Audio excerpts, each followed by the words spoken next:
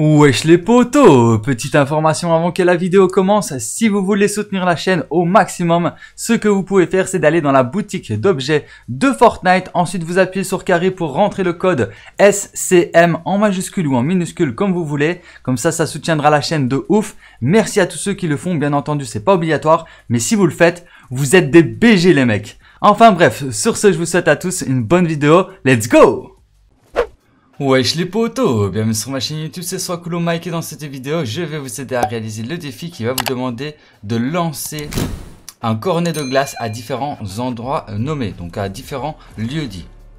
Alors, pour réaliser ce défi, moi ce que je vous conseille, c'est de vous rendre à Daily Buggles.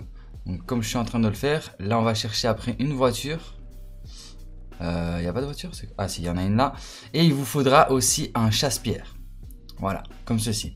Parce qu'en fait, vous allez devoir trouver des cornets de glace. Les cornets de glace ben, se trouvent au sol, euh, posés comme ça sur la map de Fortnite, ou alors dans des coffres. Mais voilà, ils sont difficiles à trouver, je trouve. Donc moi, j'ai une petite technique pour vous. Vous prenez une voiture avec un chasse-pierre, et euh, vous allez peut-être à Daily ou même euh, à Tilted Tower, hein, et vous détruisez les bases du bâtiment pour que le bâtiment se détruise complètement et que vous puissiez récupérer tout le loot instantanément.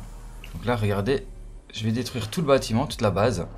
Et ensuite, euh, le bâtiment va s'auto-détruire tout seul. Donc, hop, voilà, regardez, là tout le, bâtiment se détruit. Et là j'ai de plus de chances de trouver des cornets de glace. Donc regardez, j'en ai déjà trouvé deux. Donc il y en a un juste ici, cornet de glace requinqueuse et cornet de glace épicé. Donc voilà, il y a plusieurs cornets de glace différents. Donc euh, grâce à cette petite technique, vous allez trouver des cornets de glace facilement. Donc maintenant j'ai 4 cornets de glace. Ce qu'il vous faut c'est minimum 3 cornets de glace. Donc là ça tombe bien j'en ai 4.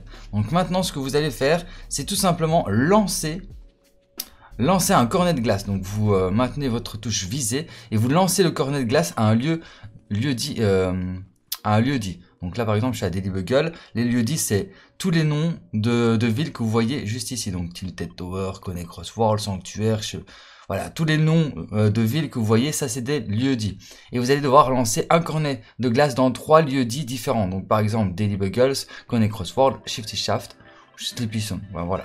Si par exemple vous avez les cornets ici, vous allez dans les autres villes lancer un cornet de glace. En plus quand vous le lancez, vous n'avez même pas besoin de, de 4 cornets en fait. Parce que regardez, vous pouvez récupérer votre propre cornet que vous venez de lancer. Donc au final, bah, vous pouvez les lancer en illimité. Donc ça, c'est plutôt intéressant. Donc voilà, dès que vous aurez lancé trois cornets de glace, enfin un cornet de glace dans trois lieux dits différents, bah là vous aurez terminé le défi et vous débloquerez les récompenses. Donc voilà qui termine cette petite vidéo d'information, j'espère qu'elle vous aura été utile et qu'elle vous aura plu. Si c'est le cas, n'hésitez pas à liker, à partager, à vous abonner si ce n'est pas encore déjà fait. Et sur ce, moment, je vous dis à très bientôt pour plus de vidéos, c'était Swapinmec et ciao, peace